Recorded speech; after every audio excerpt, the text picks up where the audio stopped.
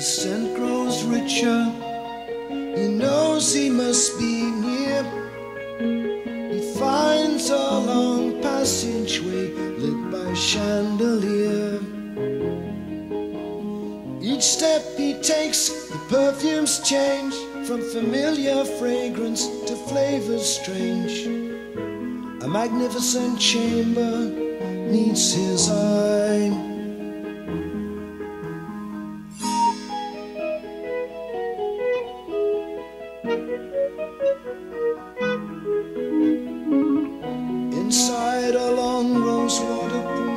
Pool, shrouded by fine mist. Stepping in the moist silence, with a warm breeze, he's gently kissed. Thinking he is quite alone, he enters the room as if it were his own. But ripples on the sweet pink water reveal some company unthought of. Rael stands astonished, doubting his sight, struck by beauty, gripped in fright. Three vermilion snakes of female face, the smallest motion filled with grace. Muted melodies fill the echoing hall. But there is no sign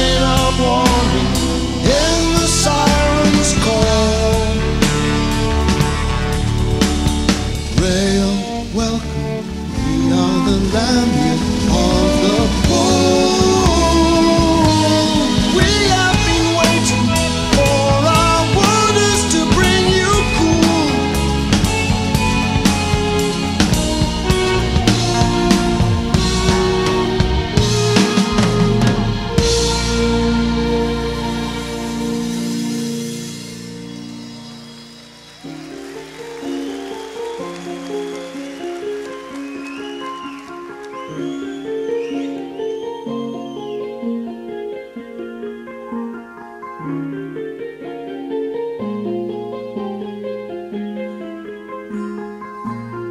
Putting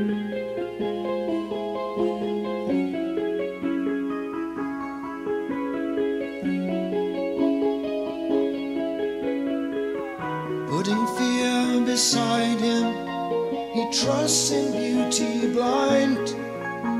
He slips into the nectar, leaving his shredded clothes behind. With their tongues, they test, taste, and judge all that is mine. They move in a series of caresses that glide up and down my spine.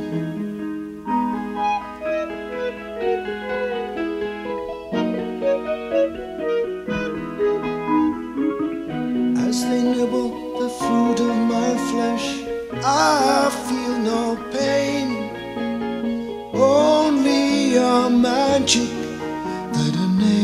stain. With the first drop of my blood in their veins, their faces are convulsed in mortal pains.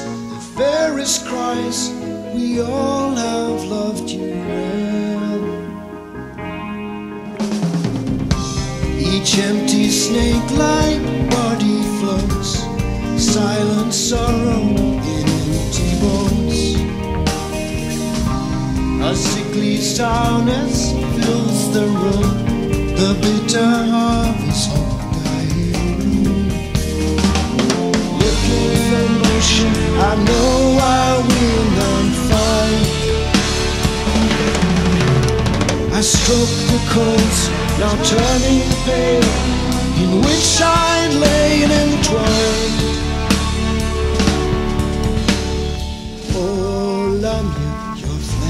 Remains, I will take as my food.